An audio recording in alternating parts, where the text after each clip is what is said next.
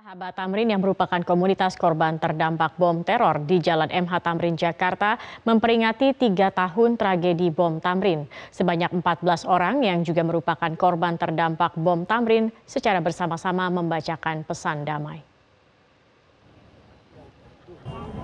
Untuk tahun ini komunitas bernama Sahabat Tamrin ini menyuarakan tuntutan dukungan pemerintah secara berkesinambungan.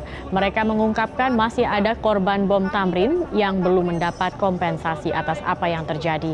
Selain itu mereka juga menyatakan bahwa korban bom Tamrin memerlukan bantuan yang berkesinambungan, bukan hanya pada masa pasca kritis namun masa sesudahnya. Dwi Siti Romdoni, juru bicara komunitas sahabat Tamrin menyatakan pemerintah bisa juga terus berkontribusi bagi para korban dengan memberikan bantuan imaterial seperti bantuan pelatihan atau bantuan pendidikan kepada para korban.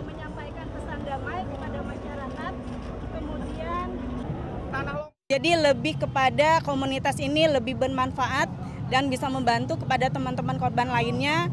Eh, saat ini kami memang sudah diberikan uh, apa diberikan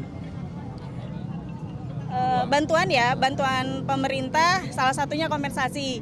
Nah teman-teman yang lainnya kan memang belum mendapatkan tidak seberuntung kami. Nah itu yang akan kami